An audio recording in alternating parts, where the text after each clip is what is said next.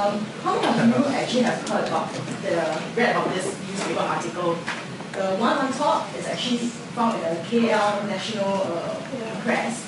It says that there's a new party drug that might have killed youth at festival, and they recognize, I mean, they identify this drug as a possible, uh, possibility to be methadone. And in this uh, party, there are some Singaporeans who alleged have taken the drugs and are actually uh, hospitalized in KL. So during the same period last month, March was an interesting month last month, um, in the Jakarta Post, they said that there was a dance or music festival and the party actually had three mortality. So they suspect it's also because of recreational drugs. And one of them, unfortunately, is actually a 26-year-old Singaporean who died in Jakarta. So as we are, if you have read about this news, I wonder if your thoughts will be the same like the topic of my talk today, recreational drugs, what is happening so first I'll start a little bit about the uh, classification of recreational drugs. Um, for me, this has gone very far beyond what I used to read in the EM textbooks for my exams as a student or as a resident. So I'll share with you how we look at it. Um, we divide it into stimulants, hallucinogens, and depressants. And I further this divided into two groups. So on this side, you actually have the classical drugs, uh, which some of us might have the opportunities to treat patients with these toxicity. For example, cocaine, amphetamines, ketamines, heroin, opioids, or benzodiazepines. Um, the new things, the new kid on the block is actually the novel cycle, uh, novel agents. So under the stimulants, you can see that there's actually a rapid increase in the number of stimulants drugs that are new. So piperazine started in about 2006 to 2008. Then cannabinoids came on so about it was banned in about 2010. So methadone is one of the cannabinoids. And in 2010, there are new drugs, synthetic cocaine and pipradrols. Under the hallucinogens, we have uh, things like synthetic products and even plant-based plant-based products. So example is uh, methoxetamine, spice, and uh, the latest on the market is called NBOMe. It's actually a thin can it's manufactured as a thin uh, piece of square paper. It's actually a, also called blotters. So people put it underneath the tongue or it can be used as a spray. So all these actually has hallucino, uh, effects and uh, stimulant effects. And under the new uh, devices, I'll talk a little bit about uh, and which is actually uh, what, like what Dr. G. Ong has mentioned. It can be used as a gateway drug. Uh, the recreational drug users use it to get high. So as you can see, recreational drug toxicity, so it is actually increasingly, it's actually increasingly uh, becoming more common and there is a changing pattern of abuse because the ego actually makes classical drugs with the new agents. So uh, we'll move on to look at the prevalence of drug use around the world. So uh, most of this information is from the drug, uh, World Drug Report 2013 that's published by the United Nations Office of Drug and Crimes. So um, there is estimated that there are actually uh, more drug users globally, but um, they report that problems associated with drug use like dependence and disorders are actually, uh, actually steady. So this reflects that even though we have more people using the drugs, there, the number of problems have not gone up. So this is just a reflection of perhaps the world population is increasing, therefore the number of abusers have also increased. But there are two areas of concern uh, mentioned in this report. One is of polydrug use. So um, this is actually very well studied in the US, Australia, and in some parts of the UK, where people combine prescription drugs, mainly sedative and tranquilizers, together with the illicit substance.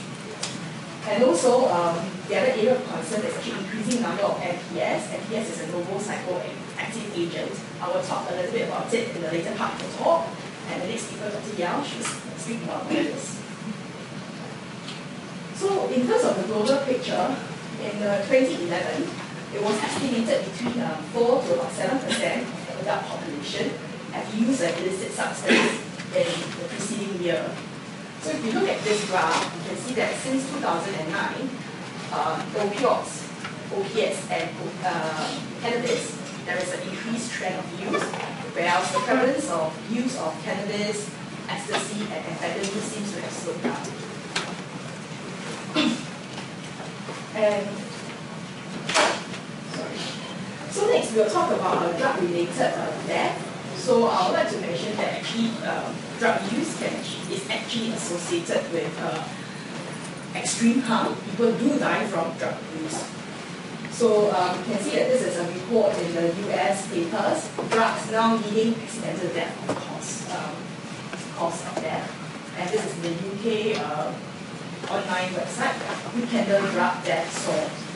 So uh, according to the European Monitoring Center for Drug and Drug Addiction, they report that um, on the average, the mean age of people who die from drug-related uh, causes um, is between 24 years old to 44 years old in the European countries.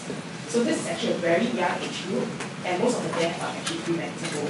So it's quite sad that we're losing quite many young people from um, just drugs. So this is again a, a table showing that for the global uh, drug death, it's estimated that about 120,000 to 247,000 people have died per year globally, and this actually gives a mortality rate of about 22.3 to 54 deaths per million uh, population. So this is actually quite a significant number. So in the next slide, I'd like to show uh, a little bit about the study that was done in the UK uh, Emergency Department so this shows a five-year trend of the ED visits that are related to drug use. So we can see that from the year 2006 to 2010, there's actually an increase in number of ED presentations that are related to uh, drug toxicity. So this actually does put a strain on a already a very stretched healthcare system. So what is the statistic on uh, Asia Pacific, this region? So according to the UN ODC report that's published uh, this year, uh, sorry, last year, uh, methamphetamine continues to be very popular. There's a resurgence of ecstasy, and in this region we are not spared either. The emergence of the NPS, new psychoactive agent, is growing rapidly. What about Singapore? We'll ask ourselves. So in Singapore, we continue to be a transit location for trafficking of uh, amphetamine-like substance. Uh, our main drug of use is heroin, and there is and its use continues to increase. Methamphetamine remains a very significant problem, especially for young drugs offenders and people who are caught for the first time using drugs. So this is the statistics for Singapore. Uh, so next I'll move on to the individual drug groups and talking about sorry, uh, individual drugs group and uh, see how is the prevalence of use across the world. First we'll talk about opioids. So opioids, uh, this includes uh, heroin and opium and it's estimated about 0.4%. These are the countries that have high prevalence of use. So in some parts of Asia, Europe, and North America can see from this graph, uh, the areas that are shaded green are the areas where there is reported to have used opiates. Uh, the ones in the darker green are countries like Russia that has high prevalence of use. The next graph, the next picture, will show the annual prevalence of opioids in uh, 2011. So you'll realize that this actually covers more areas, uh, like the States, Australia and parts of Europe. Why is there a difference? The difference is because uh, for opioids, they included uh, numbers based on prescription drugs. So they have prescription uh, analgesias, opioids analgesias that have been misused. Therefore, there is actually a much higher uh, prevalence of use. So next, we move on to cocaine. Uh, we can see that in, the, in all across the world, with the exception of North America, the rest of the countries in the world actually reports a higher use of cocaine in 2011 compared to 2004. So cocaine is also on increasing use. This, this is the map again. You can see the States, Australia, and parts of Europe. Very high usage. Cannabis. So cannabis remains the most widely used illicit substance. So the prevalence of this is about 4% globally. And in this region, uh, cannabis use is also on upward trend, and I expect this to be increasing over the years because USA, some parts of the states have actually legalized cannabis. So in this picture here, it's taken off the BBC website. It shows the UK police, they have seized uh, about 90 cannabis plants in uh, Norfolk in August last year.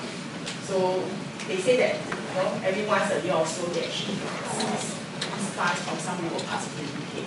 So this is how the cannabis plant actually Again, uh, the graph, this, this picture will show the use of cannabis in 2011. So as before, states, Australia, Malaysia, and Europe, very big users.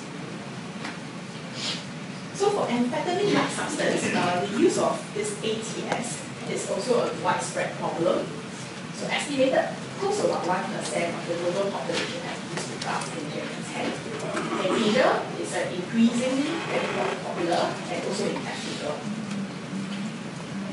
Again, you can see quite a lot of countries are actually daily users of uh, amphetamine uh, substance. And you can see in the Southeast Asia region where we are, this is for ecstasy. And now we'll come on to this thing called uh, novel or new psychoactive agents. So what are these uh, new psychoactive agents or what we call NPS? So NPS is actually an umbrella term for unregulated uh, psychoactive agents that actually, that actually mimic the effect of the controlled drugs. So we can see that across the world, many of them, many of the countries have actually reported use. These are highlighted in purple. Um, for example, in among the countries in Europe, the top five countries that actually report very high um, NPS use is one, London, the second one is Poland, followed by um, France, Germany, and Spain. And this is a table showing the regional emergence of NPS by groups. You can see that among Africans, Americans, Asia, Europeans, and Oceania, the Europe countries report a very high prevalence of use of NPS across all classes, be it synthetic cannabinoids, ketamines, uh, ketamine, for example. And uh, according to the UNODC report, there are uh, the three big countries that have reported uh, the emergence of NPS to the United Nations. Uh, ranking first is, of course, Europe because they have a high usage actually uh, followed by Asia and then America. So in Asia, most of the countries that report the emergence are actually the East and Southeast Asia, uh, parts of the Middle East. And in this region, um, in Asia, the two common NPS that's been used is etaline and kratom. Kratom is actually a plant. This is how it looks like. It's, uh, found, it's a plant, a tree that is grown in the Southeast Asia, and it's used, I mean, is known for its uh, stimulant and narcotic effects. So sometimes what they can do is they can make it into tablets like this. So this is called Captain Kratom. You can get it off the internet. so it's very, uh, you can see the packaging is very exciting. Know, it's trying to like get the young. So this table actually shows a classification of different classes of NPS and the countries that have reported these drugs to the UNODC. So in Singapore, we actually have reported synthetic cannabinoids. An example is spice. Spice is something, it's not um, the spice that we use to cook, but it's actually what, like, um, they use this synthetic cannabinoids and they spray on leaves and show it, then they sell it as a herbal product. So people can um, burn it and snort it, for example. Synthetic cannabinoids, an example is methadone, or the trade name, you know, the street name is Miao Miao so these reported all these drugs. Okay, so um, with this emergence of NPS, um, the recreational drug toxicity scene is actually having this changing paradigm. Um, in order to, you know, uh, outdo the law and patent legislation. So all these drug manufacturers, they always manufacture new molecules. They make some changes to the molecules and they market a new drug very rapidly. So in that sense, the, the law enforcement is always the step behind. So in the UK, when we used to, when I was doing my HNDP, we used to go to the nightclubs and we do survey on the drug, on the drug users, I mean the clubbers. So sometimes they'll give us information like, oh, they've tried something new. Another way to actually keep track of what is um, happening in the world is that we actually go around with the music festivals, or we go in monthly, once a month, in the nightclubs area, they'll put up portable uriners. And then uh, the next day, I'll have a pleasant job as fun to go back to the clubs and collect the urine. So we siphon the urine from urinal and we send it for analysis. So this is one way how um, London they keep track of the new drugs that's coming.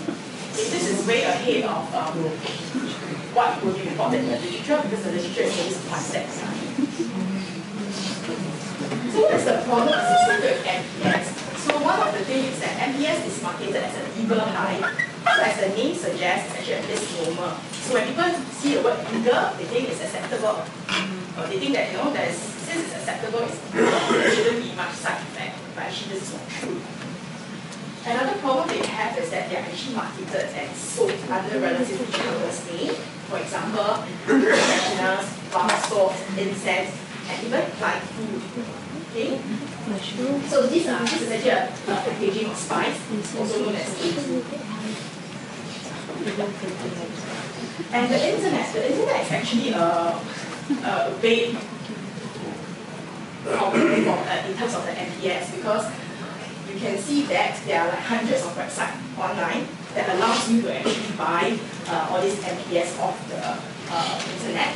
So according to the UNODC report, 88% of countries responding to the survey said that the internet is the key source of supply in their markets. So this, um, these are actually packaging of the NPS. This is benzofurate, 6-APB, methadone, cocaine. So it's a synthetic cocaine. So the first time I saw a patient who told me he has taken cocaine, I was like, what? Spell it for me, because I've not seen it. So you can see that the internet, you can buy it in grams or milligrams or even kilograms. So all you need is internet access and credit card. But please don't try in Singapore because CNB available. So this is one website of how you they can actually buy uh, NPS off the internet. You just have to Google buy, for example, benzofurate. You have a website. And they'll tell you how to buy it. And you don't have to give much details. So now back to the reality. Uh, Singapore, Singaporean lives of suspected overdose in Jakarta. CNB working with, with KL to probe the alleged drug abuse by Singaporeans.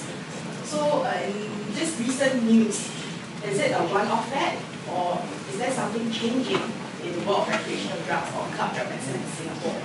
Will, that, will this eventually become a regular thing that we see in the A&Es? So as, I think as practicing physicians, we are actually quite interested because if you see these uh, cases, it will be quite um, different because we haven't been seeing it much in our A&E setting. So hopefully uh, with the primary prevention, that's a very strict regulations, drug laws that we have in Singapore, this would be passed. But if we do, uh, what I'm going to do next in the last part of my lecture is to share with you all some case studies that um, I've actually seen and attended to these patients in London and I was away for a year of teaching. So um, all these cases, I'll first go through two, um, three different cases. One is a pain, one is a drowsiness, the other one is a pocket And for each of the complaints, I actually included a classical drug and a newer drug. So this is um, a case of pain. The new lady has chest pain, snorted cocaine one and a half hours ago, feeling quite agitated and sweaty, a case of partial chest discomfort. She's a bit tachycardic and So uh, we'll definitely ask for do an ECG on her. So the ECG is actually pretty normal looking sinus tachycardia. With troponin is actually negative. X-ray there's no pneumothoraxis, no medial wider, wider mediastinum.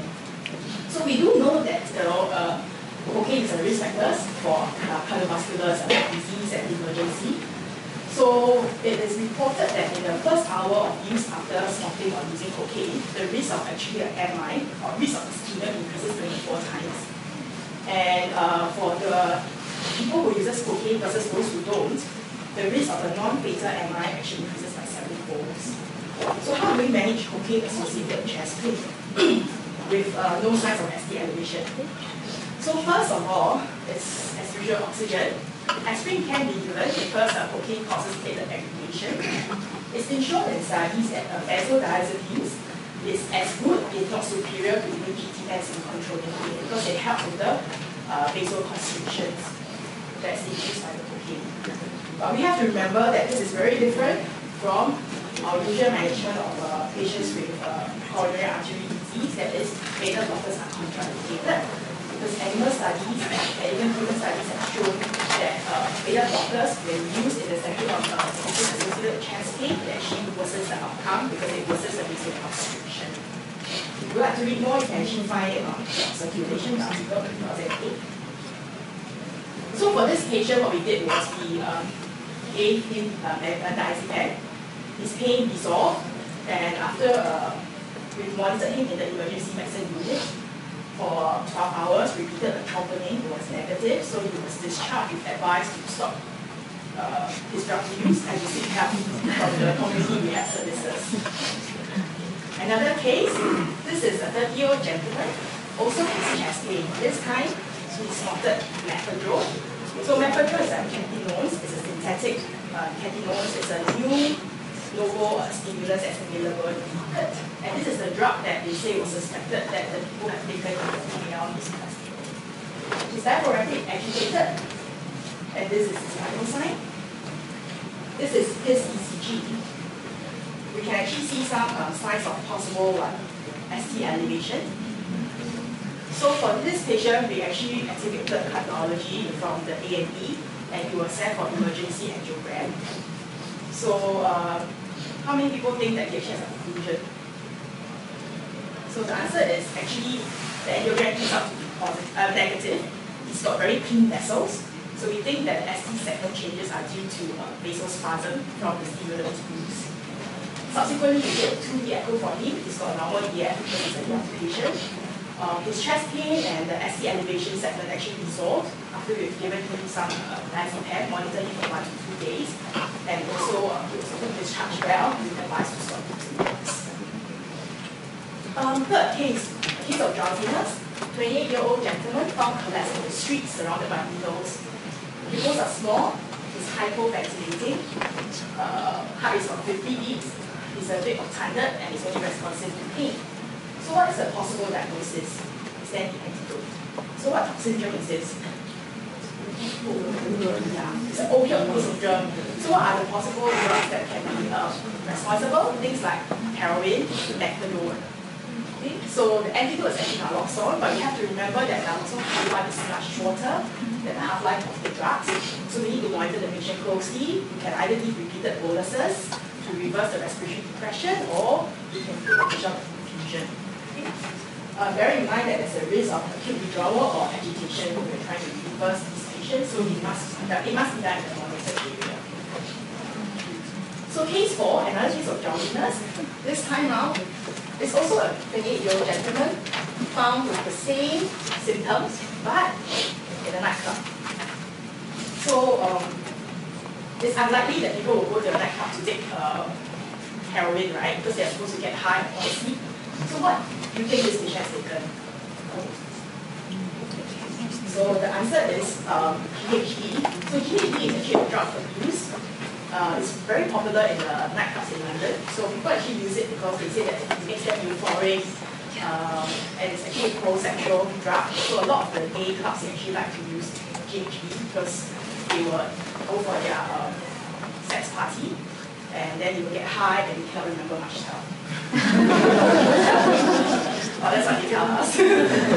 so um, another form is GBL and one 1,4-butane These are also names, uh, these are analogs and precursors of GHB. So when they are eaten, they metabolize GHB in the body and they give the same kind of. So GHB, to remember, it actually, um, once we have ingested it, the onset of action is within about 30 minutes. then they actually feel high. and the half-life is also about 30 minutes. If you look at this bottle, you can see that the GHB, when dissolved in water, is actually a very clear, colorless liquid. So this is actually a problem.